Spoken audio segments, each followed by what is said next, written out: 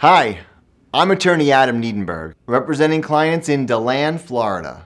I'd like to talk to you about premises liability.